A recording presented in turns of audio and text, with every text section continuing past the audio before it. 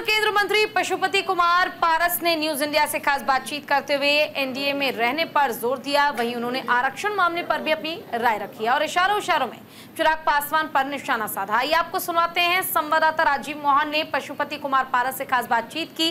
क्या कुछ कहा उन्होंने? सुनिए। हमारे साथ हैं पूर्व केंद्रीय मंत्री और राष्ट्रीय लोक जनशक्ति पार्टी के राष्ट्रीय अध्यक्ष पशुपति कुमार पारस। सर, ये आपने जो अभी जो विधानसभा का जो चुनाव हुआ है, उसमें आप एनडीए में हैं, लेकिन आप कई बार ये कह रहे हैं कि अब पूरी जगह जितने भी सीटें हैं बिहार में, सभी विधानसभा सीटों पर चुनाव लड़ेंगे। देखिए, हमारी पार्टी का संगठन बिहार ही नहीं, पूरे देश में है। कश्मीर से लेकर कन्याकुमारी तक है, और हमारा जो दलित दलित सेना है, जिसके हम खुद राष्ट्रीय अध्यक्ष हैं।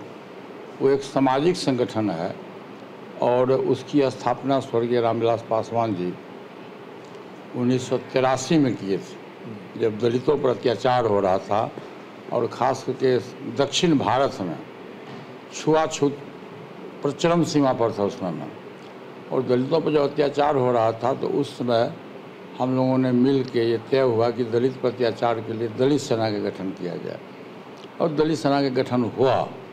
और नॉर्थ इंडिया से अधिक ताकतवर आज के तारीख में भी दक्षिण भारत में दलित सेना है और हमारी पार्टी है।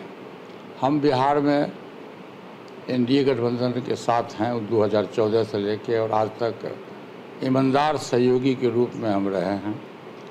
और रहेंगे भी भविष्य में भी रहेंगे। आपको तो लोकसभा में भी, भी उम्मीद थी कि आपको सीटें मिलेंगी लेकिन नहीं मिली। तो ये भाजपा के प्रदेश अध्यक्ष आगे मिले।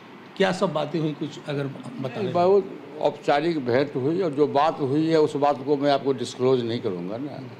बात हुई बात को बात ही रहने दीजिए डिस्क्लोज एक चीज़ और बताइए कि अगर मान लीजिए आपके पास विकल्प क्या होगा? अगर जिस प्रकार से लोकसभा में हुआ अगर विधानसभा में सीट आपके उम्मीद के हिसाब से नहीं मिला तो आपके पास और क्या विकल्प होगा? देखिए मेरा प्रयास रहेगा कि मेरा फ़र्स्ट प्रिफ्रेंस रहेगा फ़र्स्ट चॉइस है मेरा कि एनडीए गठबंधन के साथ। हमारी पार्टी का तालमेल हो। यदि नहीं हुआ।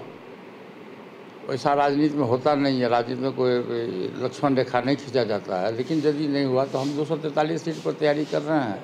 हम स्वतंत्र होंगे दो सौ तैंतालीस, फिर हम अपने वर्कर्स की मीटिंग बुलाएँगे।